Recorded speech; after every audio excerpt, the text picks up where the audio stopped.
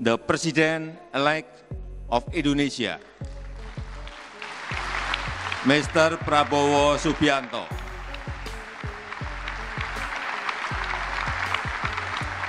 who is currently serving as the Minister of Defense, who will continue Indonesia's commitment to contribute toward world water management. Terima kasih Pak Prabowo.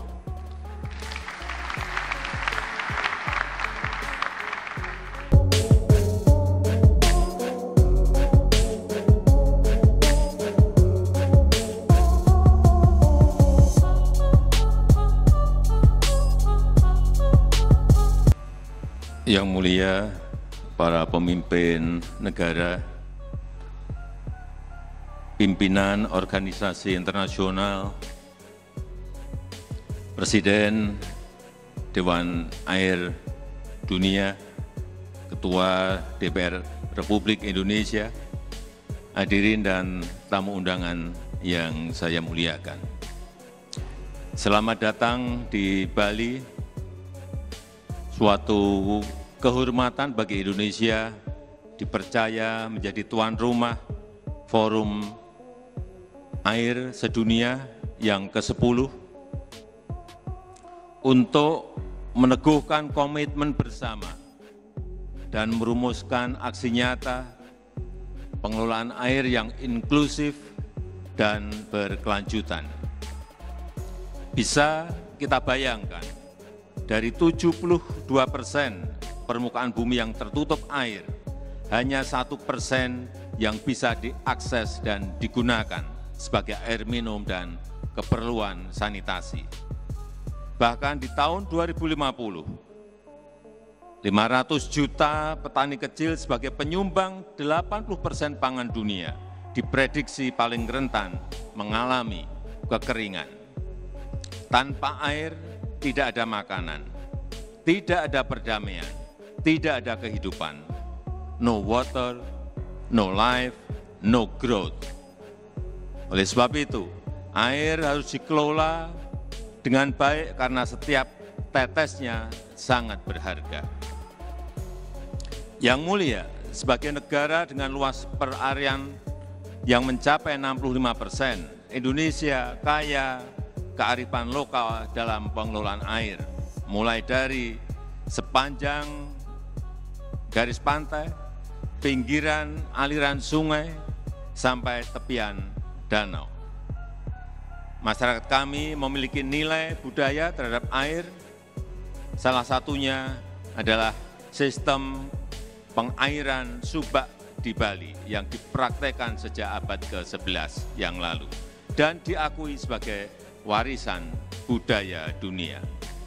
Selain itu bagi masyarakat Bali, air adalah kemuliaan yang mengandung nilai-nilai spiritual dan budaya yang harus dikelola bersama-sama. Hal tersebut sejalan dengan tema kita tahun ini yaitu air bagi kemakmuran bersama yang bisa dimaknai menjadi tiga prinsip dasar, yaitu menghindari persaingan, mengedepankan pemerataan dan kerjasama inklusif, serta menyokong perdamaian dan kemakmuran bersama, di mana ketiganya hanya bisa terwujud dengan sebuah kata kunci, yaitu kolaborasi. Di Indonesia, kolaborasi telah menjadi kunci keberhasilan dalam merestorasi Sungai Citarum, serta pengembangan energi hijau, solar panel terapung di Waduk Cirata, yang menjadi terbesar di Asia Tenggara dan ketiga di dunia.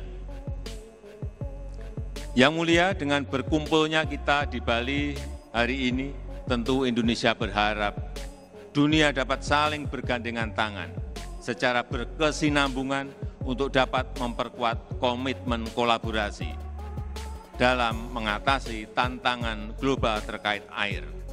Let's preserve our water today for shared prosperity tomorrow.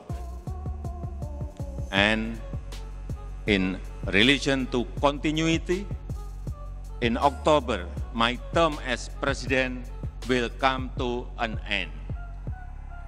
And on this good occasion, allow me to introduce the President-elect of Indonesia, Mr. Prabowo Subianto.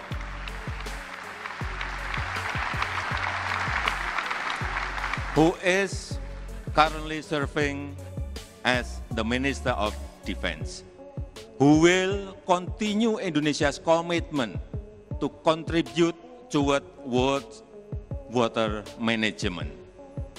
Terima kasih Pak Prabowo.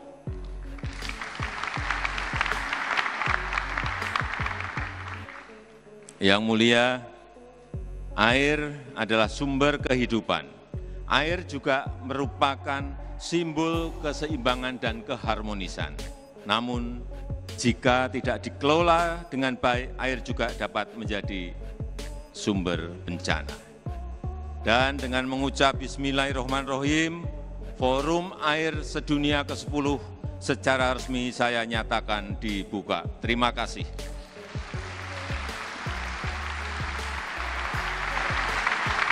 And now, accompanied by Mr. Louis Fasong, His Excellency Mr. Luhut bin Sarpanjaitan, Her Excellency Mrs. Retno Marsudi, and His Excellency Mr. Basuki Hadi Mulyono, we invite to the stage to finally opening the 10th World Water Forum.